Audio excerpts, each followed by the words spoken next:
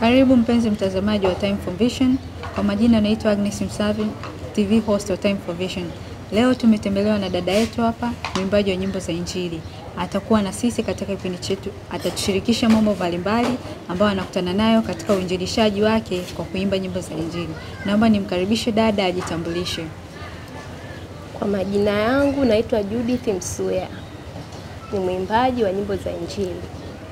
Judith Msuya, Mm. karibu sana dada. Asante. Je, ulianza kuimba ukiwa na umri wa miaka mingapi?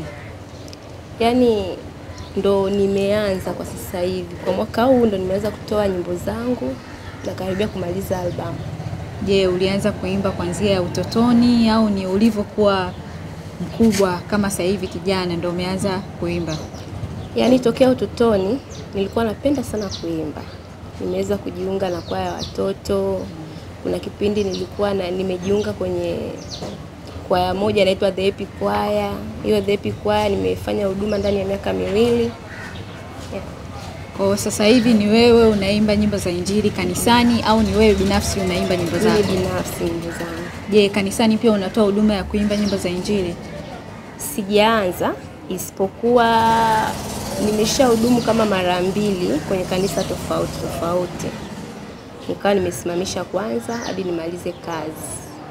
Na mpaka sasa hivi umeshaandaa nyimbo ngapi au albamu ngapi? Nimeshaandaa nyimbo sita, Nyimbo sita. Ndiyo. Ni albamu moja au ni nyimbo tu unazitoa moja moja ni moja? albamu moja. Albamu. Bado haijatoka ila kwenye Bado kwenye mchakato wa kutoka. Yeah. Albamu yako umeipa jina gani? Maisha mwanadamu ni fumbo. Maisha mwanadamu ni fumbo. Kweli maisha ya mwanadamu ni fumbo. Yes. Je, unaweza ukatupa kionjo kimoja katika zile nyimbo zako sita ambazo umezitengeneza. Yeah. Karibu.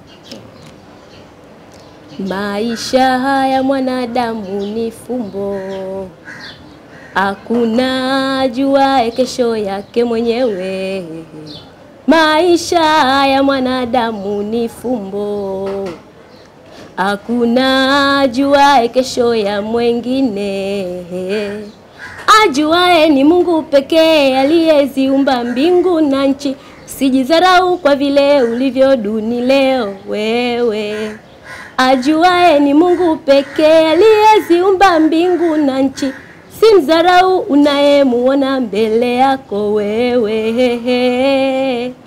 Wow. Hongera sana dada Judith. Asante. Kwa upo kwenye mchakato wa kutoa albamu yako. Ndio. Mpaka sasa hivi umeshakamilisha nyimbo ngapi? Nyimbo sita Sita ziko tayari. Ndio. Hizi ni za audio au ni za video? za audio. Audio peke yake. Je, unatarajia kuja kufanya video siku za mbeleni? Ndio. Okay. Na katika uinjilishaji wako, je, familia yako inasemaje katika kukusapoti katika mambo mbalimbali, kifedha, kusaidia katika shughuli mbalimbali za uinjilishaji wako? Kwa kweli namshukuru Mungu, familia yangu inanisapoti, namshukuru Mungu sana kwa hilo. Na kitu gani kilikuvutia zaidi kujikita katika kuimba nyimbo za Injili, usiende kuimba bongo flava, usiende kuimba bolingo? Kwa kweli kitu ambacho kimenivutia zaidi kuimba gospel, napenda yani, napenda napenda kumwimbia Mungu, yani napenda kumwimbia Mungu, Ni ile tu kumpenda ile Mm, nampenda Mungu, yani napenda ku- kumwimbia, yani najisikia amani ninapo mungu najisikia furaha. Na je, unakutana na changamoto gani au vikwazo gani mm, katika uinjilishaji wako kwa nyimbo za Injili? Changamoto ni nyingi, sababu kama kuhusu swala la kurekodi nini, huu mpango nilikuwa nao muda mrefu wa kurekodi, but changamoto iliyokuwepo kuhusu pesa, maana huwezi kuingia studio kurekodi bila pesa. Kwa hiyo nikawa nimejipanga. Kwa sasa hivi namshukuru Mungu amenisaidia, nimepata hiyo hela. Kwa hivyo yani ndio changamoto ambayo niliyokuwa nayo. Kwa siku za mbeleni unatamani uwe kama nani ambaye ni mwimbaji mkubwa wa nyimbo za Injili?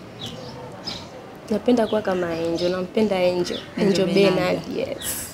Na sauti yako naona zinaendana kidogo. Nampenda sana. Amina, Mungu atajalia utatenda na utamfikia kama yeye. Amina. Na je, katika nyimbo zako zinazokuja au katika hizi Mm. unapenda umshirikishe nani ambaye ni msanii mkubwa wa nyimbo za Injili? enjo napenda kumshirikisha Bahati, Bahati Bukuku, Christina Shusho, Martha Mwaipaja. Yaani kuna waimbaji wengi sana nawapenda. Nikianza kuwataja hapa pata tosha. Na baada ya albamu yako ya kwanza hizi nyimbo sita, unatarajia kutoa albamu nyingine mbele? Ndio, ndiyo. Na katika utunzi wako wa hizi nyimbo za Injili, kuna mtu yote ambaye anakusaidia au anakupa backup katika kusaidia kutengeneza hizi nyimbo, kukuandikia nyimbo? Hapana, naandika mwenyewe. Naandika mwenyewe. Na. Isipokuwa kuna wimbo mmoja tu ndo rafiki yangu alikuwa, kuna siku alikuwa amefunga akajisikia, akawa naimba wimbo, akaniambia rafiki yangu, kuna wimbo nataka nikupe. Nikamwambia na shida, akanisikilizisha, mimi mwenyewe nikaupenda. Lakini hizi nyingine tunga mwenyewe, naweza nikakaa nikajisikia naimba basi. Kwa na una kipaji cha utunzi na una kipaji cha kuimba. Ndio. Kweli Mungu amekujalia talanta, hongera sana. Je, dada, unaweza kuwashauri nini vijana wenzako ambao nao wanatamani kuimba nyimbo za Injili, wanatamani nao wafike katika hatua hiyo uliofikia wewe? Umeshatengeneza nyimbo sita, unaelekea kwenye album Ndio. mm. Unawashauri nini? Yaani ningependa kuwashauri tu wasikate tamaa. Inawezekana kuna mwingine anatamani kufanya hivyo, ila anakuwa labda ana pesa. Ninachowashauri wasikate tamaa, waendelee kushuka mbele za Mungu. Mungu ni mwema, utafanikiwa. Ah, Asante sana dada Judith, karibu tena katika kipindi chetu.